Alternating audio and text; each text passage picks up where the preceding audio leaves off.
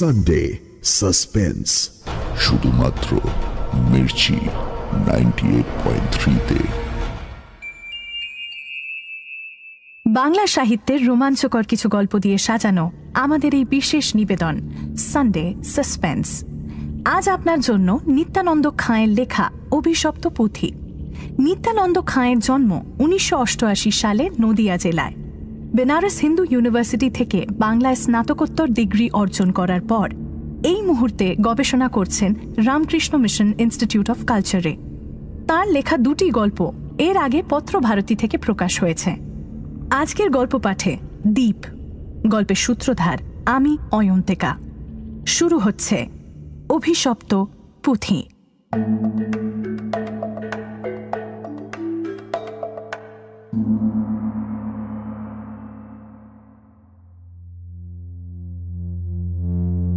স্টেশনের অভিজ্ঞতার পর নিজেকে সামলে নিতে কিছুদিন সময় লেগেছিল। স্পষ্ট বুঝেছিলাম, ভূতের গল্প লেখা আর নিজেই সেই গল্পের অন্যতম চরিত্র হয়ে ওঠার মধ্যে রয়েছে আকাশ পাতাল তফাত যাই হোক, অবনী বাবু মানে আগন্তুক পত্রিকার সম্পাদক আমার রাতের স্টেশন কলাম পড়ে খুব খুশি হয়েছিলেন। পত্রিকার কাটতিও হয়েছিল বেশ। কিন্তু কে জানত? এরকম প্রাণঘাতী অভিজ্ঞতার এই সবে শুরু। সেবার অবনীবাবু বিষ্ণুপুরের যে পুঁথির কথাটি বলেছিলেন, দু সপ্তাহ আগে রবিবারের দৈনিকে তাই নিয়েই একটা খবর দেখলাম। বাঁকুড়া জেলার ছাতনা গ্রামে একটি তিনশো বছরের পুরনো পুঁথিকে ঘিরে গ্রামবাসীর মধ্যে আতঙ্কের সৃষ্টি হয়েছে। স্থানীয় সূত্রে জানা গেছে যে প্রথমে পুঁথির মালিক রমেশ দলুইয়ের মস্তিষ্ক বিকৃতি এবং কিছুদিনের মধ্যেই তার অস্বাভাবিক মৃত্যু হয়। এখন সেই আতঙ্ক আরও ভয়াবহ রূপ নিয়েছে। তবে কি অবনীবাবু যে বলেছিলেন পুঁথিটি অভিশপ্ত, সে কথা সত্যি? এই কথা মাথায় আসতেই আমি অবনীবাবুকে ফোন করি।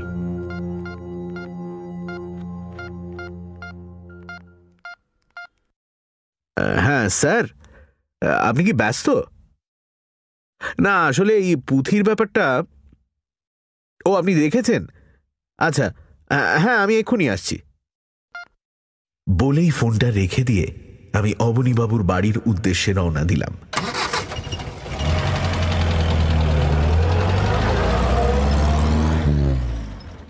পৌঁছে দেখি অবনীবাবু চায়ের টেবিলে বসে আমার জন্য অপেক্ষা করছেন।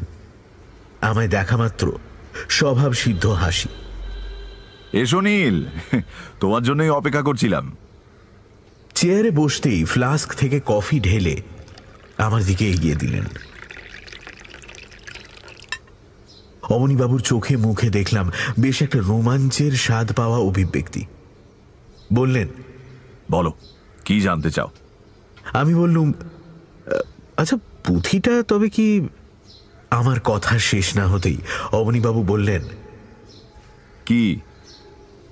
অভিশপ্ত কি না তুমি তো জানো, রহস্য গপ্প বিক্রি করে পেট চালালেও আমি নিজে ওসবে বিশ্বাস করি না। তবে ওখানকারই একজন সংবাদ প্রতিনিধির কাছে ফোন করে যা শুনলাম তা হলো, পুঁথিটা ঘরে নিয়ে আসার পর থেকেই ভিকটিমের মানে ওই রমেশ দলুইয়ের হাবভাব কেমন যেন বদলে গিয়েছিল। সারাক্ষণ একটা আতঙ্কগ্রস্ত ভাব যেন কেউ বা কারা তাকে সব সময় মেরে ফেলার চেষ্টা করছে। এভাবেই কদিনের মধ্যে তিনি প্রায় পাগলের মতন হয়ে যান। আর তারপরই এই অবস্থা। একই প্রাচীন পুঁথি, তার উপর অভিশাপের আতঙ্ক। এইসব ব্যাপারে যে আমার একটা বিশেষ আগ্রহ রয়েছে, সে কথা অবনীবাবু খুব ভালোভাবে জানেন। আর হয়তো সেই কারণেই আমার কাছে এই সব ঘটনার কথা বলতে গিয়ে তার উৎসাহ দ্বিগুণ হয়ে ওঠে। আমিও যে এই ঘটনায় ইতিমধ্যেই একটা রোমাঞ্চের গন্ধ পেয়েছি সে কথা তিনিও বুঝতে পেরেছেন। তাই কোনো ভনিতা না করেই বললেন কি? যাবে নাকি একবার? আমি বললাম কোথায়? বিষ্ণুপুর? আবার কি? তাছাড়া এবার একটা সুবিধেও আছে। দু একজন সাংবাদিক ছাড়া কোনো পত্রিকার লোকজন ওদিকটা মারায়নি তোমার যা হাতের তার। একবার এই গল্প আমাদের পত্রিকায় বেরোলে চারিদিকে একেবারে হইচই পড়ে যাবে। এমনিতেও গল্প তো রেডি মায়, গল্পের শিরোনামও ভেবে রেখেছি। অভিশপ্ত পুঁথির রক্ত পিপাসা। কি বলো হ্যাঁ? হ্যাঁ? কিছু না বললেও মনে মনে বেশ বুঝতে পারছিলাম। আবার একটা রোমাঞ্চকর অভিজ্ঞতার মুখোমুখি হতে চলেছি। মুখে একটা হাসির ভাব এনে সম্মতি জানিয়ে আমি উঠে পড়লাম। পরের দিন হাওড়া থেকে সকাল ছটা পঁচিশে রূপসী বাংলা ট্রেন ধরে বিষ্ণুপুর পৌঁছতে লেগে গেল প্রায় সাড়ে তিন ঘণ্টা। ঘর আগেই বুক করা ছিল বিষ্ণুপুর ট্যুরিস্ট লজে। স্টেশন থেকে পনেরো মিনিটের রাস্তা। আমার সঙ্গে একটা ট্যুরিস্ট ব্যাগ আর ক্যামেরা। লজে পৌঁছে ফ্রেশ হয়ে ব্রেকফাস্ট সেরে নিলাম। ব্রেকফাস্ট টেবিলেও শুনলাম। সেই পুঁথির ঘটনা নিয়েই আলোচনা চলছে।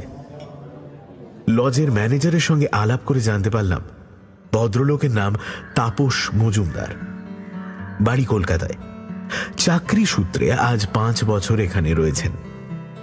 দেখলাম তাপসবাবু নিজেও বেশ মিশুকে। তাছাড়া সবচেয়ে বড় কথা হলো, তিনি রহস্য রোমাঞ্চ গল্পের একনিষ্ঠ পাঠক।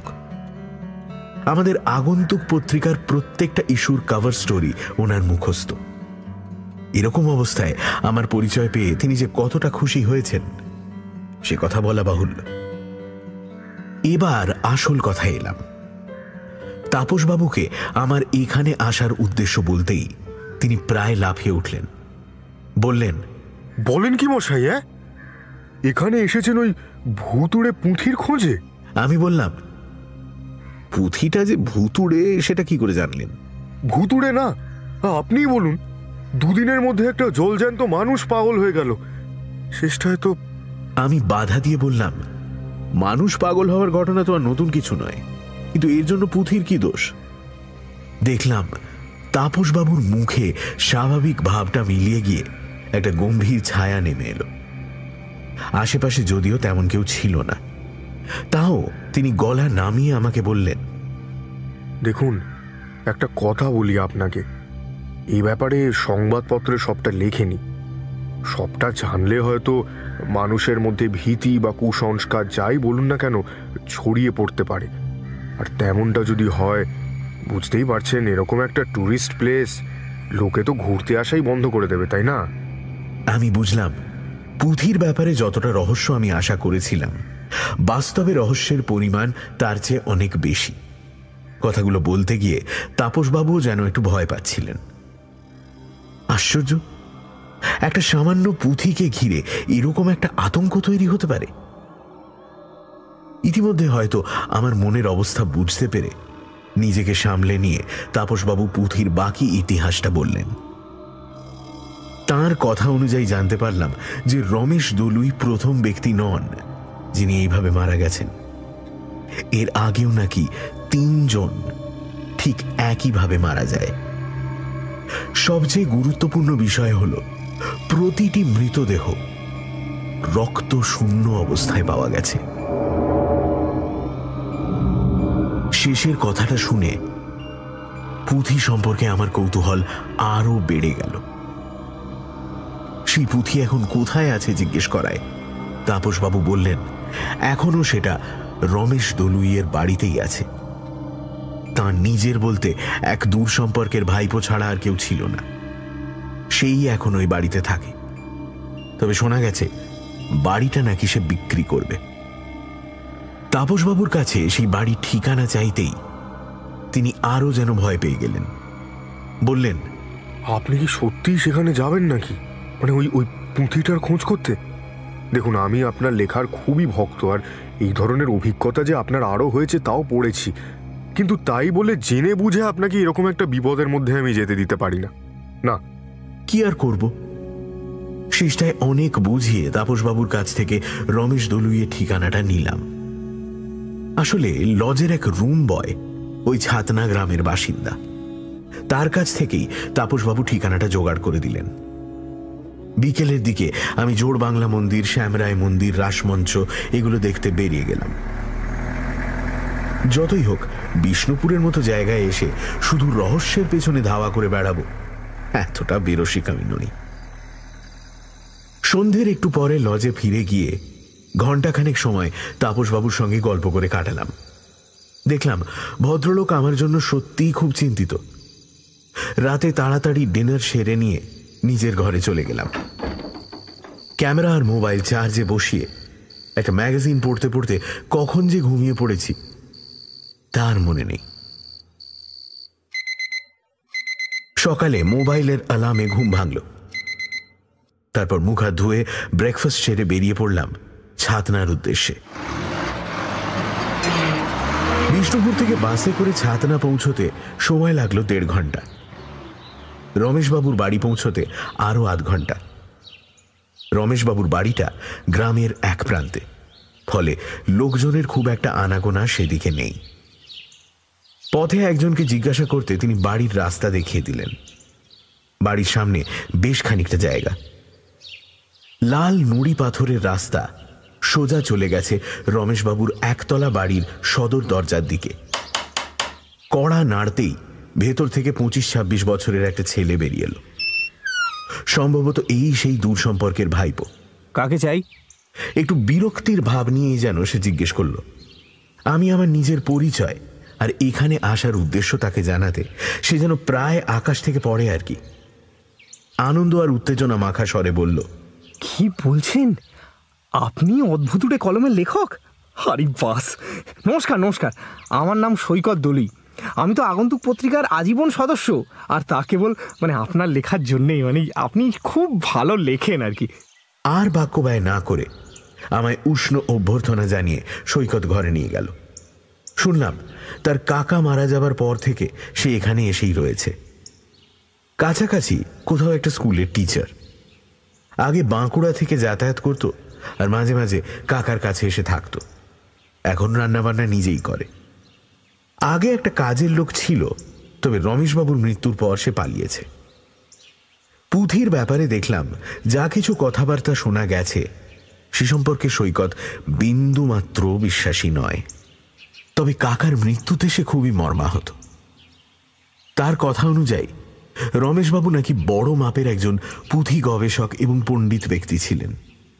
সৈকতের কথা যে বিন্দুমাত্র মিথ্যে নয়, তা বুঝলাম রমেশবাবুর ঘরে গিয়ে। সারা দেওয়াল জুড়ে আলমারিতে থরে থরে পুঁথি সাজানো। তার ঘরের মধ্যে ছটি বুকশেলফে ঠাসা রয়েছে বিভিন্ন ধরনের বই। এরকম একজন মানুষের এইভাবে চলে যাওয়া যেন আমিও ঠিক মেনে নিতে পারছিলাম না। মনে মনে একটা রোগ চেপে গেল। যে করেই হোক, এই পুঁথির রহস্য আমায় উদ্ঘাটন করতেই হবে। সৈকতকে এবার জিজ্ঞাসা করলাম আচ্ছা তোমার কি মনে হয়? তোমার কাকার মৃত্যুর কারণ কি হতে পারে? সৈকত কেমন যেন একটু অন্যমনস্ক হয়েই বলল কি জানেন তো কাকা ছিলেন আপন ভোলা মানুষ আর যাকে বলে বইয়ের পোকা। খাওয়া দাওয়ার কোনো ঠিক ছিল না। কোথাও কোনো পুঁথির খোঁজ পেলেই সেখানে ছুটে যেতেন। তাই আমার তো মনে হয় শরীরের প্রতি অযত্ন আর অনিয়মেই মানুষটা চলে গেল। এবার আমি পুঁথির কথাটা তুললাম। বললাম আচ্ছা সৈকত পুঁথিটা কি এখন দেখানো যাবে? সৈকত বলল নিশ্চয়ই এই তো হাতের কাছেই আছে। বলে সে উঠে গিয়ে দেওয়াল আলমারির বাকি পুঁথিগুলো থেকে আলাদা করে রাখা একটি পুঁথি নিয়ে এলো। লাল শালুতে মোড়া প্রমাণ মাপের আয়তাকার দুটি কাঠের পাটাতনের মধ্যে সংরক্ষিত সেই পুঁথি। হাতে নিতেই আমার সারা শরীরে যেন একটা শিহরণ খেলে গেল। এই সেই পুঁথি। যার মধ্যে ইতিহাস আর তথ্যের সঙ্গে জড়াজড়ি করে লুকিয়ে আছে মারণ অভিশাপ। কিন্তু কিসের অভিশাপ? কার অভিশাপ? এসব কথা এক মনে পুঁথিটার দিকে তাকিয়ে ভাবছি হঠাৎ সৈকতের ডাকে আমার চমক ভাঙল। কি ব্যাপার বলুন তো?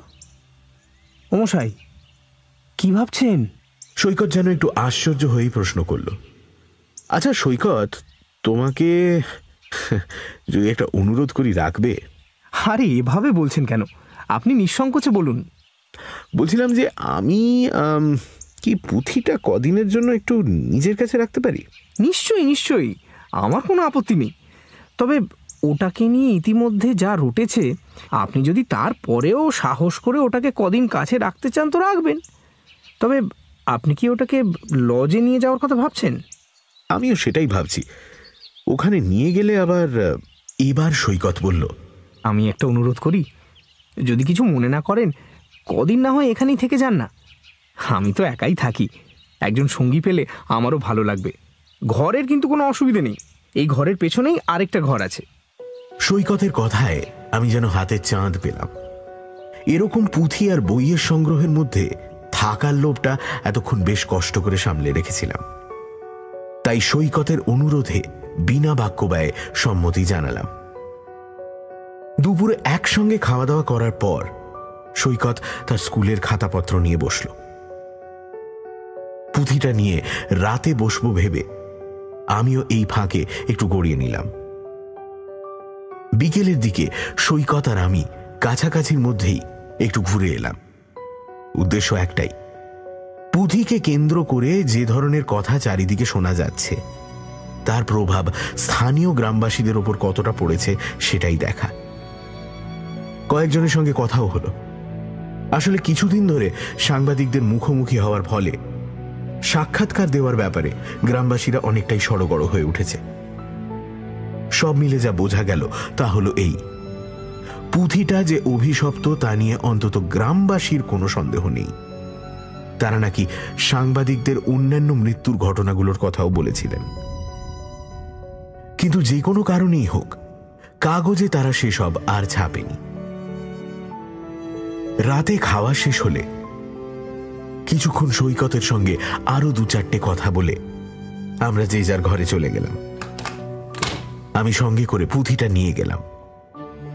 ঘরের কোনায় টেবিল চেয়ার রয়েছে, আলোর ব্যবস্থাও আছে, ফলে কোনো অসুবিধে নেই। আমি পুঁথিটা নিয়ে শালুর মোড়ক খুলে বসলাম। পাটাতনের উপর দিকে খোদাই করা কলম রাখার জায়গা।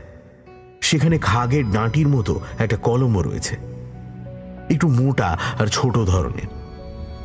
কলমের নিবটা মনে হয় ধাতুর। কাঠের পাটাতন আলগা করতেই কেমন একটা আঁশটে গন্ধ আমার নাকে এলো। প্রাচীন পুঁথি এর আগেও ঘাঁটাঘাঁটি করেছি। কিন্তু কই? এমন গন্ধ তো। কথাটা ভাবছি আর পুঁথির পাতা একটা একটা করে উল্টাচ্ছি। তিব্বতী অক্ষরে লেখা। কিন্তু এই কি? পুঁথির পাতাগুলো এরকম কেন? এরকম শক্ত আর অমসৃণ? তুলট কাগজ বা ভূর্জপত্রের পুঁথি তো এরকম নয়। কি দিয়ে তৈরি এই পুঁথি? ইতিমধ্যে কখন যেন সেই আষ্টে গন্ধটা একটু একটু করে বেড়ে উঠেছে।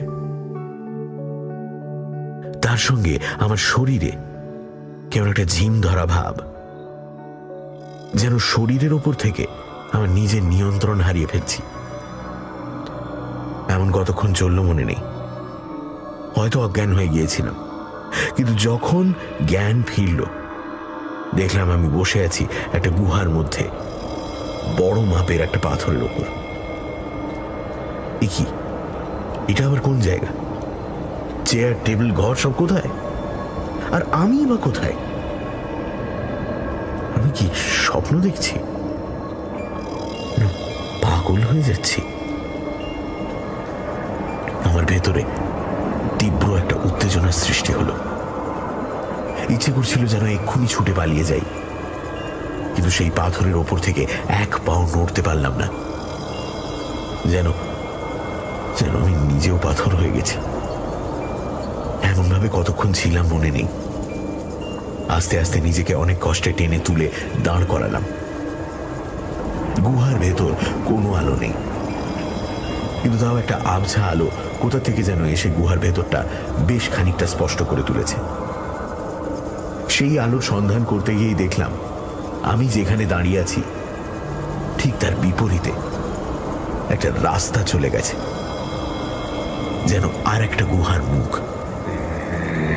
সেখান থেকে যে শুধু আলো আসছে তাই নয়, কার বা কাদের একটা চাপা গোঙানির আওয়াজও শোনা যাচ্ছে।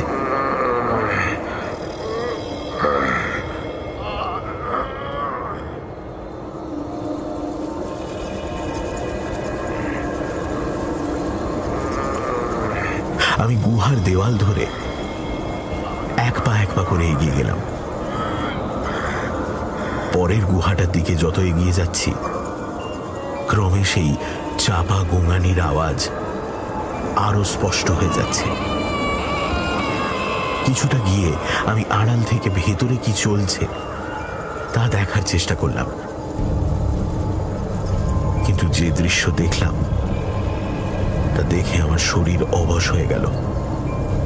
গলা শুকিয়ে কাঠ। চিৎকার করতে গিয়েও কোনো শব্দ বেরোলো না। দেখলাম বছর তিরিশের একটা ছেলের দেহ চৌকির মতো একটা শিলাখণ্ডের ওপর শোয়ানো রয়েছে।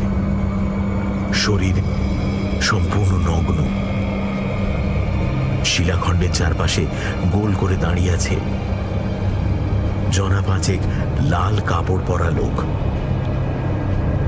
ওদের মতোই আর একজন একটা ধারালো শানিত ছোড়া নিয়ে সেই দিকে এগিয়ে আসছে।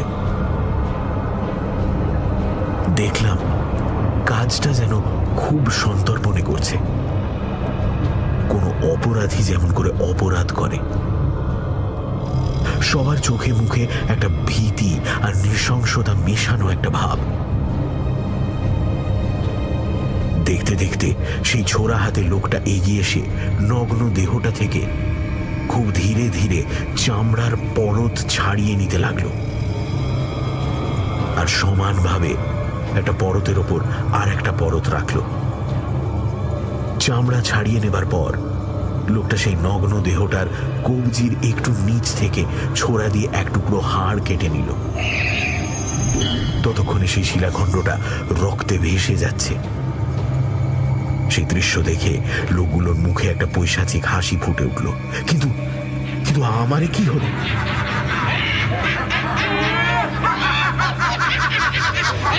আবার একই দৃশ্য দেখছি। সেই গুহার মধ্যে কয়েকজন একইভাবে একটা মৃতদেহ থেকে চামড়া ছাড়িয়ে নিচ্ছে, কিন্তু দেহটা আলাদা। এইভাবে আবার আবার আবার। খানিক্ষণ পর দেখলাম দৃশ্য বদলে গেছে। গুহায় একা সেই খুনে লোকটা একটা পাথরের ওপর বসে কি যেন করছে। আমি দূর থেকেই দেখার চেষ্টা করলাম। যেন মনে হলো আমার উপস্থিতির কথা জেনে সে নিজেই আমার দিকে ঘুরে বসল। দেখলাম তার হাতের কাছে থরে থরে চামড়ার পরত সাজানো রয়েছে। বুঝতে বাকি রইল না। সেগুলো সবই মানুষের চামড়া। কি বিভৎস আর পৈশাচিক সে দৃশ্য। লোকটা, একটা পুঁথির মাপে চামড়াগুলো কেটে একে একে কি দিয়ে যেন সেলাই করছে। তার আশেপাশে তাকিয়ে দেখলাম, গুহার দেওয়ালে ফাঁকে ফাঁকে বহু পুঁথি সাজানো রয়েছে। সেগুলো কি তবে ইতিমধ্যে আরও কিছু লোক গুহার মধ্যে প্রবেশ করল। তারা যেন আগের লোকটাকে ধরার উদ্দেশ্যেই এখানে এসেছে। হাতে মশাল সবার চোখে মুখে রাগ ফেটে পড়ছে। এদিকে যে লোকটা চামড়া দিয়ে পুঁথি তৈরি করছিল, তার মুখ আতঙ্কে ফ্যাকাশে হয়ে গেছে। যেন সে বুঝতে পেরেছে তার মৃত্যু আসন্ন। আমি হতবাক। কি করছি? কোথায় আছি? কি হচ্ছে? আমি কিছুই জানি না। এই নৃশংস চলচ্চিত্রের আমি দর্শক মাত্র। তবে এইটুকু বুঝতে পেরেছি, এরা সবাই আমায় কিছু বোঝাতে চায়, কিছু জানাতে চায়। সে কথা? দেখলাম সেই খুনে লোকটাকে বাকিরা ধরে বেঁধে ফেলল। তারপর সবাই মিলে তার গায়ে এবং সারা গুহায় কি যেন ছিটিয়ে দিল। এক মুহূর্ত সেই হাত পা বাঁধা খুনে লোকটার দিকে তাকিয়ে দলের একজন হাতের মশাল তার গায়ে চেপে ধরল। মুহূর্তে তার সারা গায়ে ধরে গেল গনগনে আগুন। তার বুক ফাটা চিৎকারে চারিদিক যেন কেঁপে উঠল। শুধু তাই নয়, ঘরে রাখা পুঁথিগুলো একে একে পুড়ে গেল। আর তা থেকে বিকট চামড়া পোড়া গন্ধ উঠতে লাগল। কিন্তু আশ্চর্য, দেখলাম মৃত্যুর আগে সেই খুনে লোকটা চিৎকার থামিয়ে কি যেন বিড়বিড় করে বলছে আর ঘন ঘন ফু দিচ্ছে। কোনো মন্ত্র? জানি না। কিন্তু দেখলাম তার আধ পোড়া মুখে আবার সেই পৈশাচিক হাসি ফুটে উঠেছে।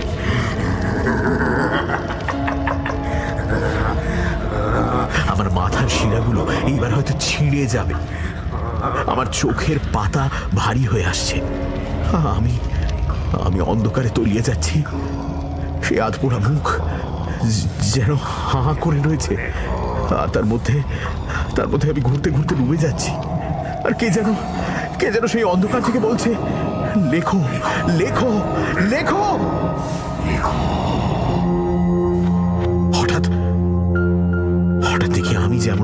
বসেছিলাম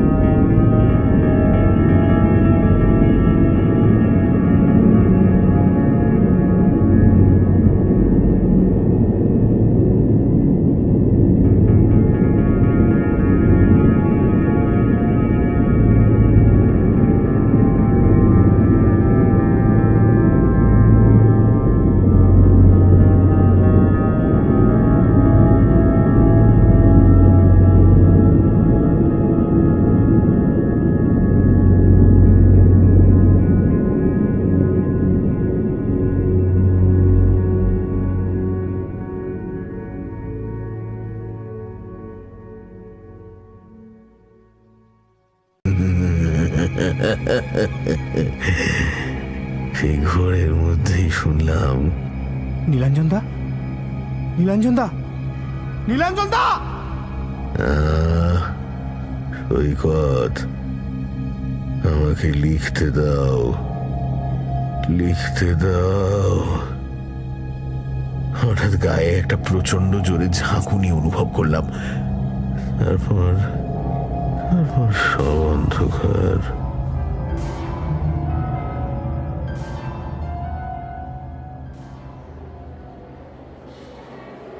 চোখ খুললাম দুদিন পরে বিষ্ণুপুর সদর হাসপাতালে।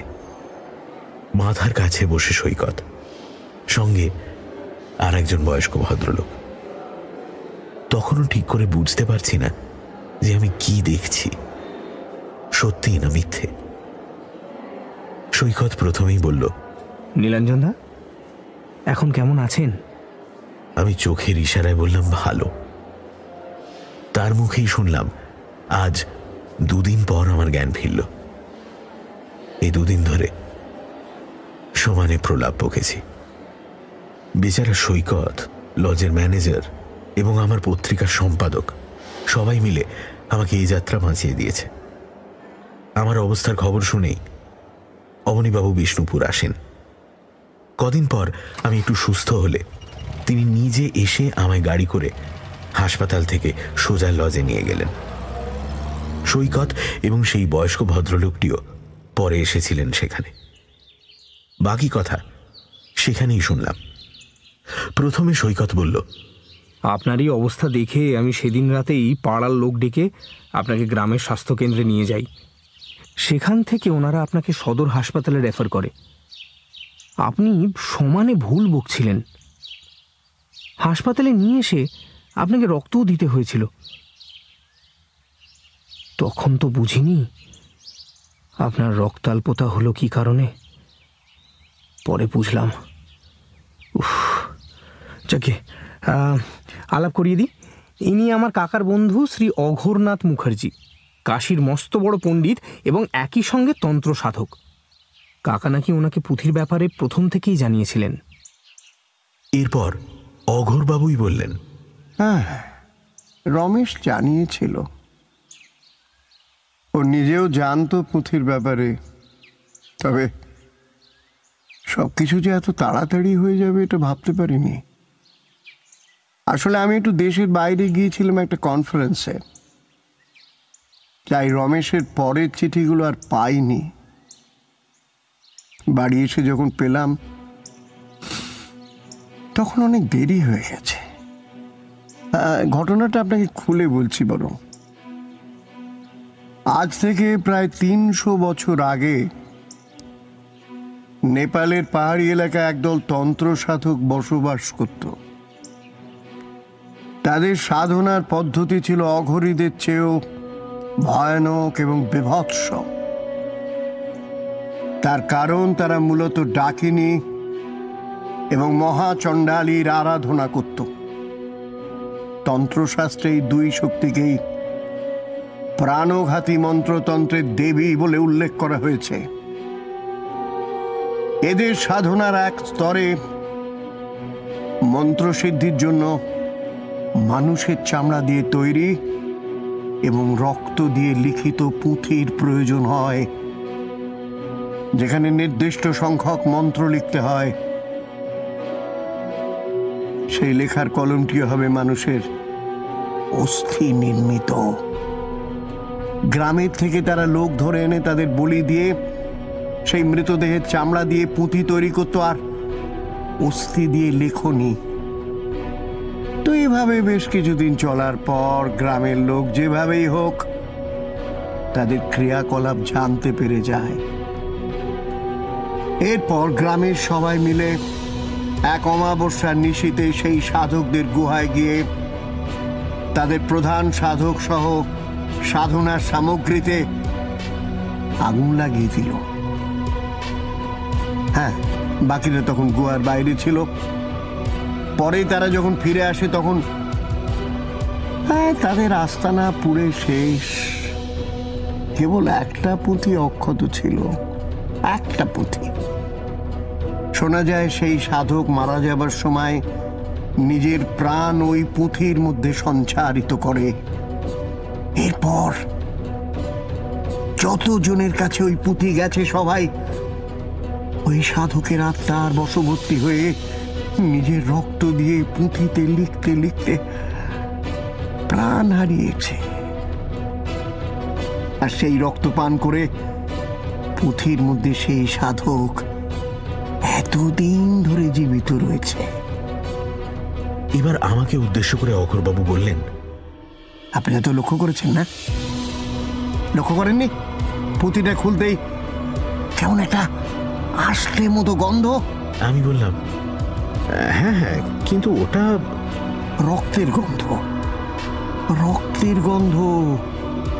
এই তিনশো বছর ধরে না জানি কত রক্ত পান করেছে এই পুঁথি আমি জিজ্ঞাসা করলাম আচ্ছা এখন পুঁথিটা কোথায়? অঘোরবাবু খুব শান্তভাবে বললেন, ওটাকে আগুনে পুড়িয়ে দিয়েছে। হ্যাঁ আগুনে পুড়িয়ে দিয়েছে। একমাত্র এভাবেই ওটাকে শেষ করা যেত। তাছাড়া আমি নিজেও রমেশের বাড়িতে শান্তি যজ্ঞ করেছি। কাশি যাওয়ার পথে গয়াতে নেমে রমেশ আর ওই পুঁথির সাধকের নামে পিণ্ডদান করে দেব। আশা করছি আর কোনো অসুবিধে হবে না। আমার পাশে বসে অবনীবাবু সব শুনলেন। অবাক হয়ে মুখ প্রায় হাঁ করেই সব শুনছিলেন। শেষে বললেন তাহলে আজকের যুগেও এই ধরনের ঘটনা ঘটে? আমার তো বিশ্বাসই হচ্ছে না। এরপর আমাকে উদ্দেশ্য করে বললেন তবে যাই বলো না কেন তোমার অভিজ্ঞতার স্টক কিন্তু বেড়েই চলেছে। কি বলো হ্যাঁ?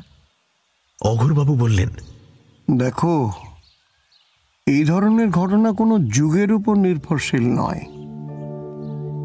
আলোর ওপিঠে অন্ধকার, যেমন অনাদি অনন্তকাল থেকে চলে আসছে। তেমনি এইসব ঘটনাও। আমাদের কাশিতেই দেখুন না, বাজারের মাঝামাঝি জায়গায় কিনা ভুতুরে বাড়ি। এখনও নাকি বেশি রাতে সে বাড়ির ঝুল বারান্দায় তাকালে একটা মেয়ের প্রেতাত্মা দেখা যায়। তবে কি জানেন, যে দেখে সে আর বাঁচে না, তার মৃত্যু অবধারিত। কথাটা শুনেই অবনীবাবুর চোখ মুখের হাবভাব এমন হলো যেন এখান থেকেই তিনি সেই ভূত দেখে ফেললেন। একটু সামলে নিয়ে বললেন মানে বাজারের মাঝখানে এরকম বাড়ি? এরকম একটা ব্যাপার সচক্ষে দেখাটাও কম বড় কথা নয় কি বলো নীল? এই অবস্থায় চোখ বুজে থাকাটাই শ্রেয় বলে মনে হলো আমার।